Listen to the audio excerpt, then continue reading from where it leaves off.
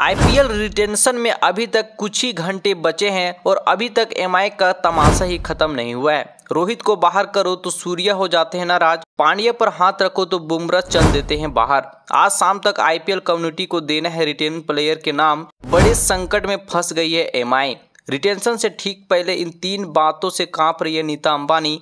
अगर ऐसा हुआ तो सब कुछ खत्म हो जाएगा। नीता अंबानी को दिल पर पत्थर रखकर लेना पड़ा है बड़ा फैसला। आ गई आर पार की नौबत। तो क्या है पूरी खबर की जानकारी? सब कुछ बताएँगे इस वीडियो में। बस आप वीडियो को शुरू से लेकर अंत तक ज़रूर देखना और अगर वीडियो पसंद आ जाए तो वीडियो को लाइक करके चैनल को भी सब्सक्राइब ज़रूर से करना। चलिए वीडियो को शुरू करते हैं।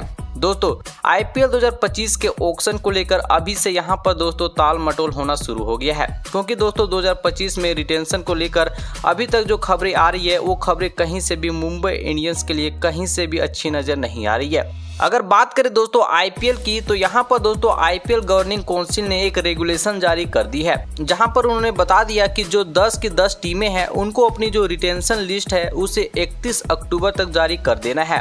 अब यहाँ पर दोस्तों अगर आप देखोगे तो सभी टीमों ने लगभग लगभग रिटेंशन लिस्ट जारी भी कर दी है।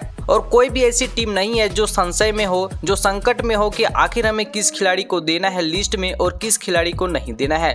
लेकिन एक टीम ऐसी है जो लगातार इस बात को लेकर परेशानी में है कि भाई अब करे तो करे क्या? और वो टीम है दोस्तों मुंबई इंडियंस की टीम। क्योंकि दोस्तों मुंबई इंडियंस की पॉसिबल रिटेंशन अभी तक क्लियर नहीं हो पाई है। अगर आप लिस्ट देखोगे तो यहाँ पर दोस्तों आपको बड़े बड़े नाम नज़र आएँगे। सूर्य कुमार यादव हैं, रोहित शर्मा हैं, ईशान किशन हैं, जसप्रीत बुमराह हैं और उसके अलावा दोस्तों हार्दिक पांड्या हैं। तो अगर आप देखोगे दोस्तों तो यहाँ पर चार कौन सी खिलाड़ी को रिटेन करना है? ये बहुत बड़ा कंफ्यूजन नज़र आ रहा है। उसके अलावा दोस्तों सबसे बड़ी जो प्रॉब्लम मुंबई इंडियंस के नज़र आ रही है, वो है दोस्तों कैप्टन को लेकर। एक सिनेरियो बनाना जसप्रीत बुमराह भी उसी नाम में है। पाँच पाँच छह छह खिलाड़ी यहाँ पर है दोस्तों, छह खिलाड़ियों के बीच जंग है। दोस्तों, सबसे बड़ी जो जंग है कैप्टन को लेकर। अब प्रॉब्लम यहाँ पर दोस्तों ये है कि मुंबई मैनेजमेंट अगर हार्दिक पांड्या को कैप्टनसी देती है तो हार्दिक पांड्या के फैंस तो खुश हो जाएँगे, लेकिन सूर्य कुमार यादव के हो गए, जसप्रीत बुमराह के हो गए, रोहित शर्मा के फैंस हो गए, तीनों फैंस नाराज़ हो जाएँगे। और हो सकता है तीनों टीम में खेले भी ना इन्होंने क्लियर अल्टीमेटम दे दिया है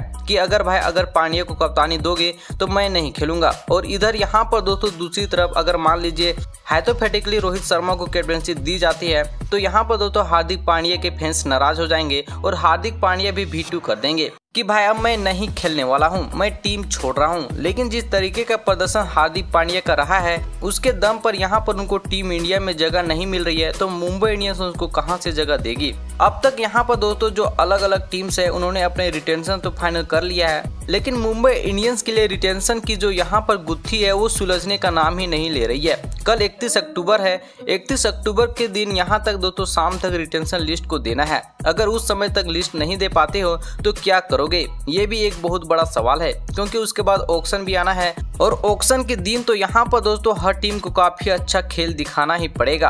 अब देखना दिलचस्प ये होगा कि दोस्तों किस तरीके से मुंबई इंडियंस इस कड़ी सिचुएशन को हैंडल करती है। आपका इस पर क्या राय है? कमेंट करके अपनी राय नीचे ज़रूर देना। वीडियो अच्छी लगी हो तो लाइक करें और चैनल को भी सब्सक्राइब ज़रूर से करें। वीडियो देखने के लिए आपका बहुत बहुत धन्यवाद।